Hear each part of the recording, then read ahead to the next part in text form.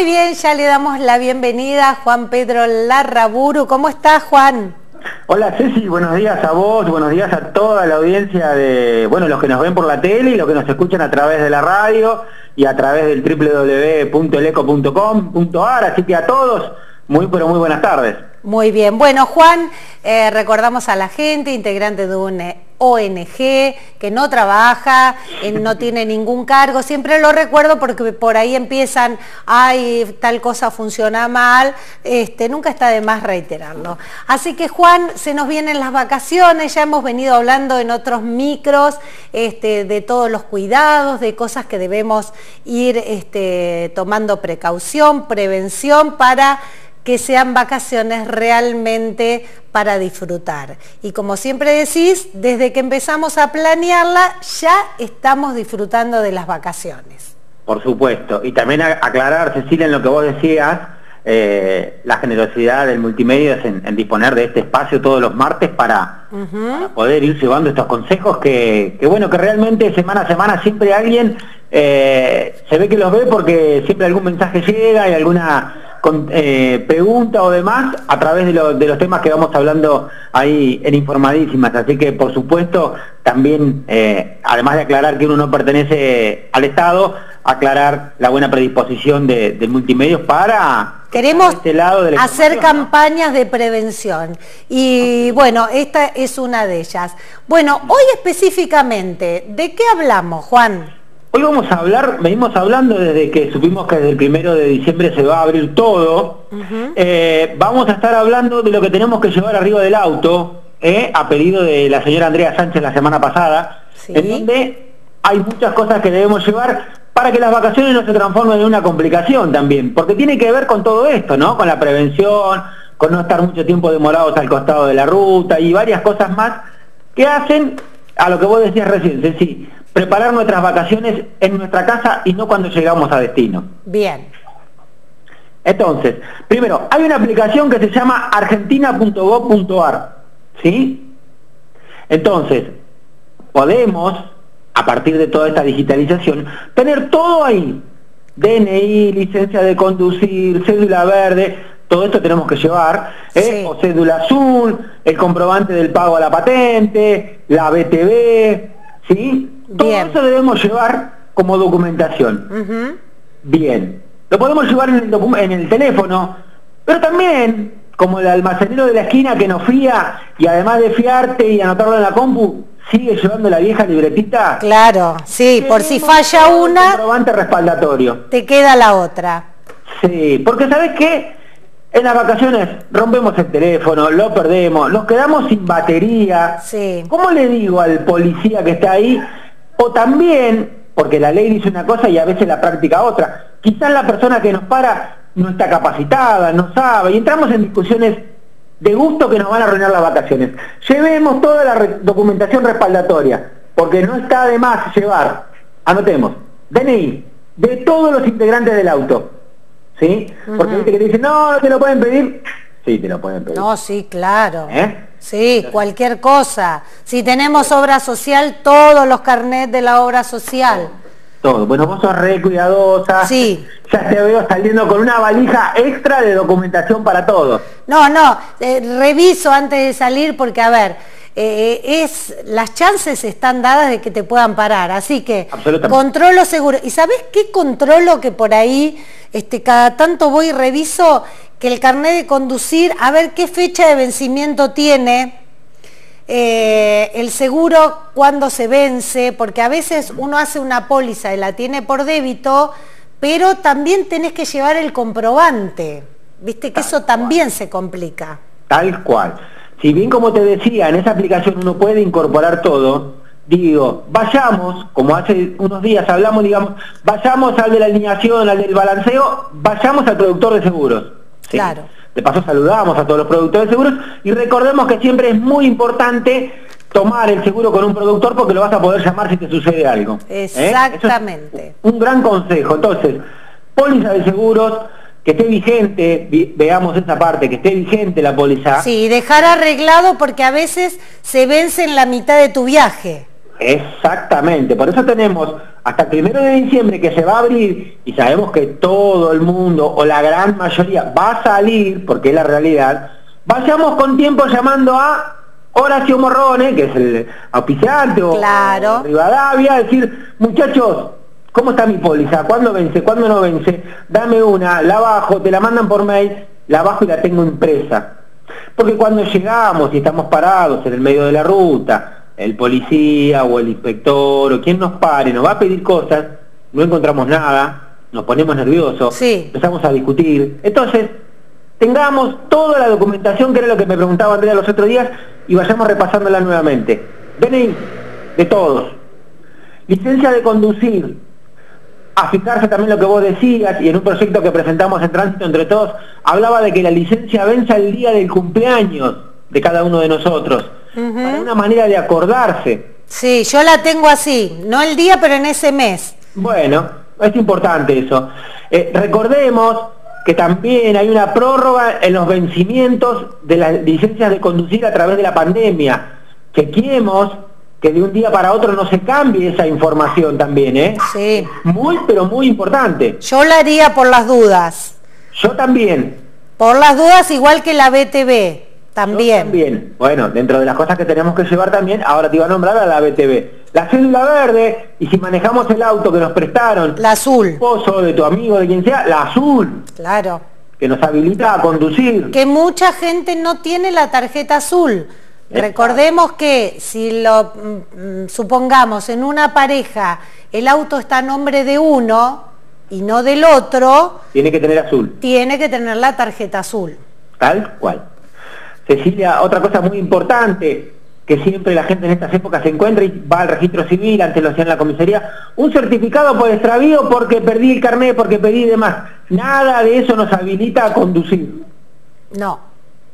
No. Nada. No. Entonces, DNI de todos, licencia de los que van a conducir, cédula verde o azul, ¿sí? la patente paga, la patente paga, ¿sí? La BTV, ¿sí? Las patentes tienen que estar legibles. Claro. Esto es un trámite que tarda no más de 3, 4 días en el registro de automotor. Si tenemos esa patente toda deteriorada, no salgamos con esa patente. Nos van a pedir el matafuego. Claro. Este También hay que mirar la fecha de vencimiento. Que eso es algo bárbaro que tiene la gente que te recarga el matafuegos, que para negocios, te llaman antes de que se venza. Eso es genial está muy, pero muy bueno. Eso habla de la seriedad de la empresa también, cuando uno claro. las cosas como corresponden. Los espejos retrovisores a ambos lados, los de las puertas, tienen que estar sanos los dos para poder circular. Atención. Y por supuesto, recordemos las luces delanteras encendidas al momento de salir a la ruta. Siempre. Siempre. Siempre. Y tengamos en cuenta que si vamos yendo por diferentes provincias, podemos tener diferentes requerimientos. Lo que sí estos son a nivel nacional cumplimentando todos estos, estamos absolutamente en regla. Lo que tenemos que tener en cuenta también es, en esta época de COVID, para no tener problemas al llegar a una ciudad, es ver si vamos a poder entrar, no vamos a poder entrar y un montón de situaciones más. Sí, todavía no he investigado ¿Pero ¿por qué la tiramos? el tema de la, de la aplicación, todavía no he investigado eso, este, Juan. Yo investigué algo y, bueno, hay cosas que siempre van a quedar en grises. Digo esto porque si bien estamos en un micro de educación vial, no está bueno que alguien quede perdido en algún pueblito de Córdoba, dando las vueltas, sin saber para dónde ir y demás, porque termina también siendo un obstáculo en lo que tiene que ver con la ruta. Exacto. Vamos de dónde vamos hasta de dónde vamos y a dónde llegamos, con claridad. ¿Sí? Tiene que haber mucha claridad en dónde vamos, porque después nos quedamos parados a mitad de ruta y eso es un peligro también. Bien. Entonces, repaso, DNI, licencia, cédula verde y azul, comprobante de patentes, BTV vigente, ¿sí? Las patentes tienen que estar legibles, absolutamente, tengan en cuenta esto, las patentes deben estar legibles, y llevar matafuego y los espejos retrovisores. Esas son fundamentales para ir. Se dejó de usar, eh, Juan, viste que en un momento este, pedían el chaleco refractario, eh, bueno, todo lo que es si, si, te pasa algo en la ruta, que se te queda el auto, eso sí, los triangulitos, refractarios, eso sí. Sí, eso sí. No pero, sé si te lo dije, pero las balizas también son eh, obligatorias de llevarlo. Sí, el chaleco fue en un momento, me parece que ya no.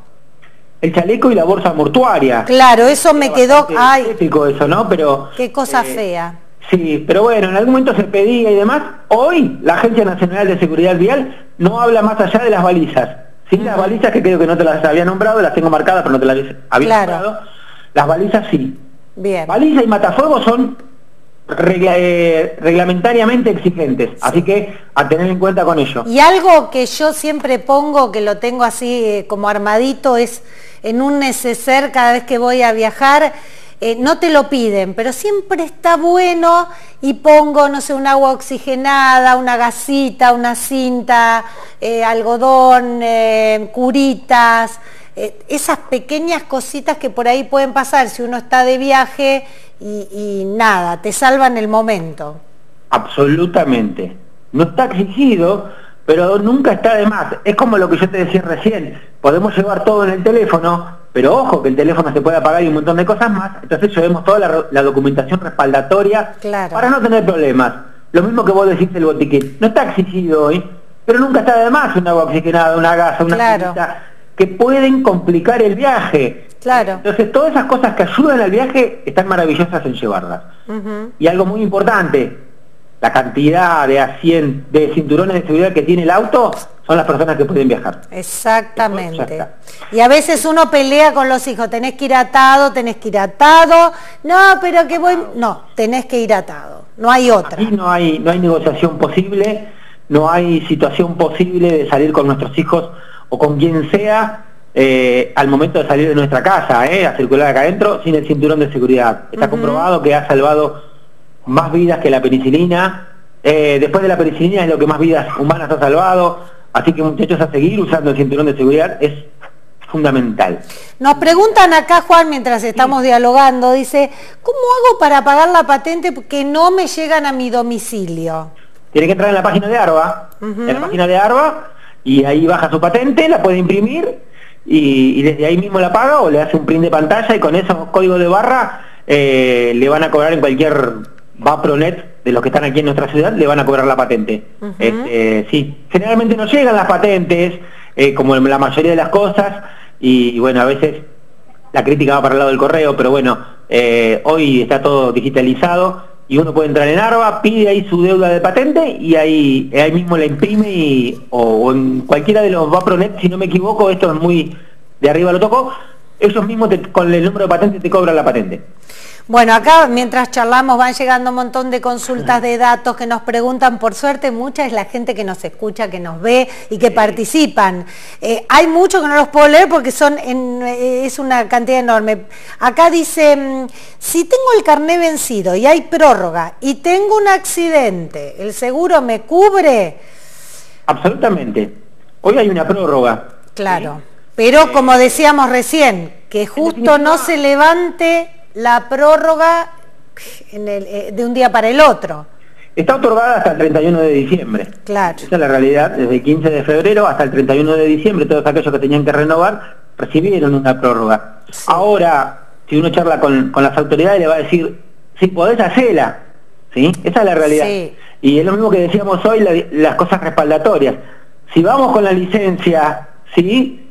Si vamos con la licencia en el, en el teléfono, llevemos la que tiene respaldatoria. Si tenemos la posibilidad de renovarla, también hagámosla. Seguro le va a cubrir porque hay un decreto en donde dice que eso tiene eh, vigencia aún estando vencida, valga el juego de palabras, ¿no? Porque en realidad lo que tiene es un trámite administrativo sin realizar. La, tarjeta, la, la, la, Sí, pero ahí ya, ya se complica entre una eventualidad se complica. Yo, eh, como siempre decimos, una cosa es la ley y otra cosa es la realidad. Si uno tiene la posibilidad de renovarla, de consejo, tanto del multimedia como de tránsito entre todos, renuévela, porque es lo que hemos hablado con algún funcionario ahí a la pasada. Si vos podés renovarla, te dice. Porque la verdad que uno no sabe lo que nos va a pasar en el medio de la situación de, incluso acá, pero cuando estamos de vacaciones, viste que cualquier problemita se multiplica. Exactamente. ¿Mm? Juan, Nos hemos quedado sin tiempo, pero bueno, esto está bueno. Buscar este no sé, un, un neceser, una bolsita en un lugar donde pongamos todos, si son chicos, porque ya mayores, los, más jóvenes, bueno, se los llevan ellos, pero poner toda la documentación, todos los papeles del auto en otro lugar, ya salir con todo tranquilo y seguro, porque como vos decís, cuando te paran uno por ahí se pone nervioso este, y no encontrás las cosas, entonces hacer una listita de todo y así como eh. este, prevemos el lugar donde vamos a parar o, lo que, o al horario que vamos a salir, los papeles, porque después pasa algo y decía mi mamá, la papeleta es la papeleta. Sin duda, sin duda, sí, por eso decía, el papel respaldatorio es fundamental. Los últimos 10 segundos para decirnos que el sábado me tocó ser testigo absolutamente presencial, estaba esperando para cruzar el semáforo y, dos chicas muy pero muy jóvenes impactaron contra, contra un automóvil. Digo, en tres meses me ha tocado ser testigo presencial absoluto de choque de moto con auto. No es que me lo contaron, lo vi. Y, agradecerle, no sé cómo se llama, a una chica que fue enfermera del hospital que, que viste cuando chocás y digo, si no hay nadie, bueno, en, 30 segundos había un montón de personas. Y, realmente una enfermera del hospital que estaba ahí en Perón y, y Necochea se hizo cargo de la situación con una profesionalidad absoluta, llamé a la ambulancia, a la policía y demás, pero ella, eh, no sé el nombre, quizás cuando pase por la tarde por ahí preguntarle porque fue maravilloso, pero digo, a lo que, a lo que quiero ir es que nos sigamos cuidando. Sí, y el, el, el sábado justamente es el día de la enfermería, así que bueno, un reconocimiento a todas ellas que, que trabajan y mucho de esa vocación, ¿no? Que van por la calle, pase lo que pase, ahí están al pie del cañón. Juan, tenemos que... Recuerdo la víctima vial también fue, así que también un domingo que, bueno, no se pudo hacer nada este año, de años anteriores he estado ahí en el piso charlando que hemos hecho siempre acciones con la, con la universidad y seguramente el año que viene, cuando estemos en condiciones normales, Daniel Herrero, Cecilia Estigueta, estemos haciendo... Sí, lo seguiremos haciendo. Juan, tenemos que agradecer sí, a la gente de Dos Remis, el remis más económico de la ciudad, 444-2424, eh, para que llames a tu remis, te vas y venís, y siempre en Dos Remis. Muy bien. Juan, muchísimas gracias por este pase para con la radio y el canal del ECO. A ustedes, un placer enorme hablar. Bueno, eh, estuvimos dialogando con Juan Pedro Larraburo de Tránsito Entre Todos.